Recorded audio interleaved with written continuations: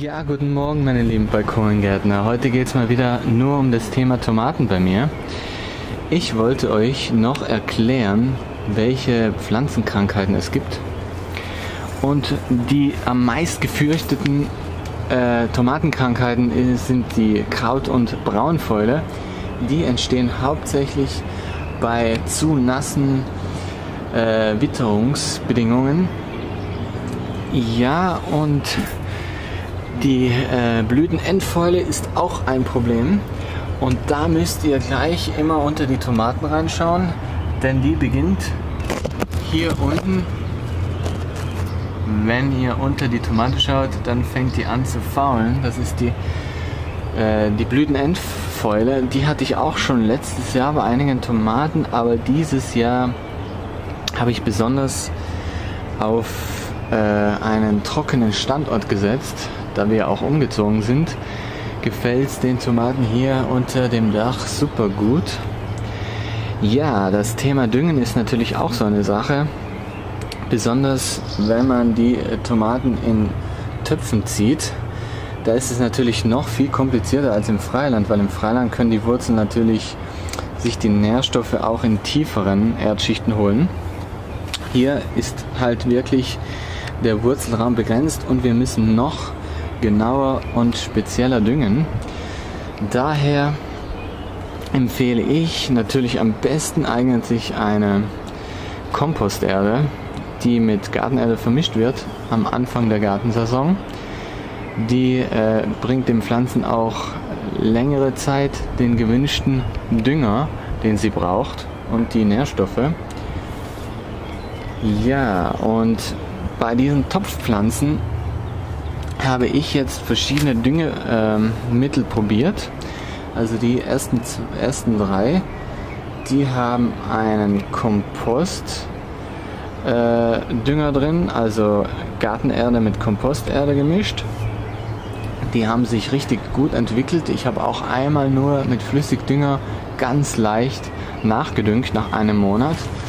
Und einen Nährstoffmangel scheint es hier überhaupt nicht zu geben bei diesen Pflanzen. Hier sieht man zwar an den Blättern ein paar trockene Stellen, das sind aber keine Krankheiten, also wenn ihr auch sowas habt, schaut mal genau hin. Das sind einfach nur mechanische Schäden, das kann durch äh, Wetter, durch Wind und Wetter zustande kommen oder auch nur, wenn sich die Pflanze hier an einem Bambusstab reibt oder an der Hauswand. Also da seid unbesorgt, zum Beispiel auch hier. Das ist wirklich nichts Schlimmes. Natürlich entfernt man am besten solche Blätter gleich. Seht ihr ja, dieses Blatt hier zum Beispiel äh, ist hier ganz dicht an der Wand angelegen und dadurch auch diese Stellen hier. Das kappe ich mal gleich ab.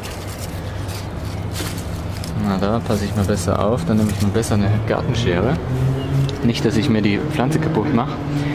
Also wie gesagt, die Kraut- und Braunfäule, das ist wirklich ein großes Problem, besonders bei den Freilandtomaten. Da bekommt man dann einen schwarzen Stängel und die Tomaten gehen auch ein. Und woran ihr auch seht, ob die Tomaten genügend Wasser haben, zum Beispiel jetzt am Nachmittag, wenn es richtig heiß wird, dann sieht man, dass ganz, ganz oben die Blätter schon so leicht, ähm, ja, so welch werden, also dass sie so runterhängen. Da sieht man, dass die Pflanze zu wenig Wasser hat, ist auch ganz wichtig. Wobei man unten dann sieht, die Blätter sind knackig und oben hängen sie runter. Das heißt, die Pflanze braucht noch etwas Wasser dann werde ich jetzt, wie man hier sieht, in den Kübeln hat sich die Erde runtergesetzt und es ist Zeit, dass ich jetzt nochmal nachdünge.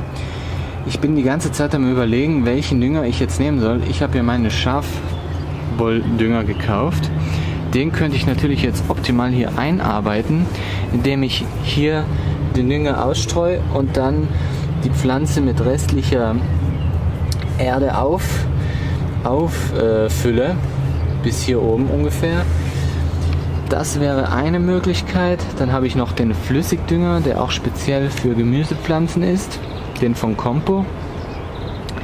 Den könnte ich auch einsetzen. Und dann habe ich noch einen, den vom Neudorf, der ist auch speziell für Tomaten.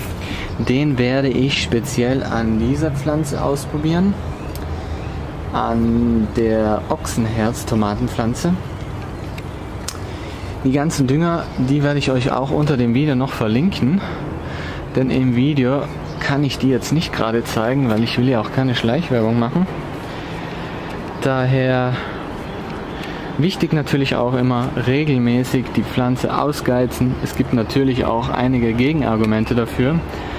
Aber um den Wuchs zu kräftigen, und die Pflanze zu schützen, sollte man schon ausgeizen. Wichtig ist natürlich nur, dass man halt richtig ausgeizt.